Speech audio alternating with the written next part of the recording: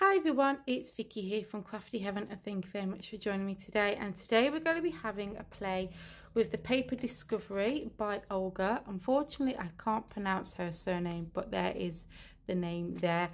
And when I went to the Craft Stash co-brand meeting, we got given a goodie bag with lots of new items that are coming which obviously I can't reveal just yet but there was a couple of other items that are on Craft Stash at the moment and these two items are available now so I wanted to have a play and you know bring them to you and show you what I'm going to create with these. There's going to be a couple of projects coming with this stamp set and dies so today we are going to be making a box frame picture, I guess. There's going to be another project coming up very soon, so keep your eyes open for that.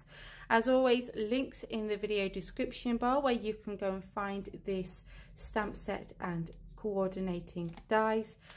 And uh, yeah go and take a look guys. And also if you are not a craft stash vip member yet what are you waiting for? It is 9.99 for the year and you get so many benefits links will be in the description bar where you can go and check all the information for that. This stamp set is so adorable.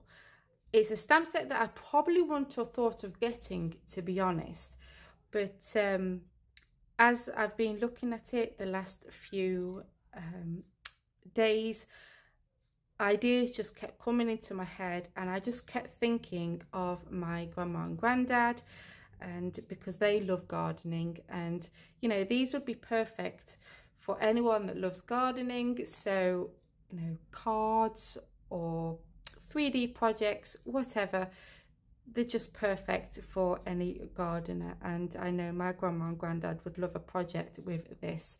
So yeah it's gorgeous. So as you can see we have this a5 stamp set. This is called garden delight and we have all the different garden items. So we've got a wheelbarrow a bench then we've got the spades the watering can flower pots and welly boots and then we've got this gorgeous tree here and we have the bird houses and some butterflies. And then we have the coordinating dies to be able to cut these out and they are so cool. I love them. So today's project we are going to be making a picture frame. So i got this frame from wilkinson's. This is the box frame and this is an 8 by 8 and what i'm going to do is i'm going to film me making this but I'm going to have music over the top. I'm not going to talk through it.